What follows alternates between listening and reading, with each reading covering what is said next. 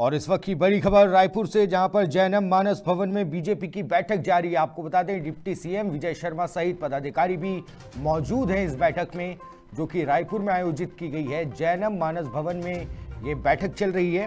भाजपा प्रदेश प्रभारी ओम माथुर के नेतृत्व में ये बैठक आयोजित हुई है। आपको बता दें, लोकसभा चुनाव की रणनीति को लेकर इसमें चर्चा होगी।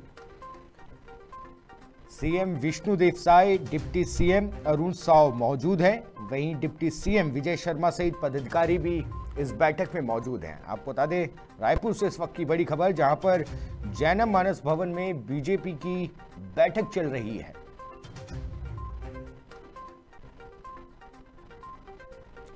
तस्वीरों में साफ़ देख सकते हैं कि सीएम विष्णुदेव साय और डिप्टी सीएम अरुण साव भी मौजूद हैं और उन्हीं के साथ विजय शर्मा सहित तमाम पदाधिकारी भी मौजूद हैं।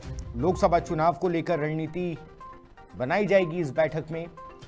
चर्चा होगी कि लोकसभा चुनाव में जीत कैसे हासिल की जाए। रायपुर से इस वक्त की बड़ी खबर आपको बता रही डिप्टी सीएम विजय शर्मा सहित तमाम पदाधिकारी मौजूद हैं। रायपुर के जैनम मानस भवन में ये बैठक चल रही है।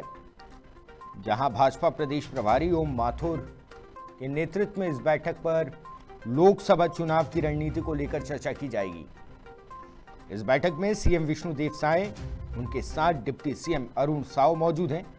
इसी के साथ डिप्टी सीएम विजय शर्मा सहित पदाधिकारी भी मौजूद हैं।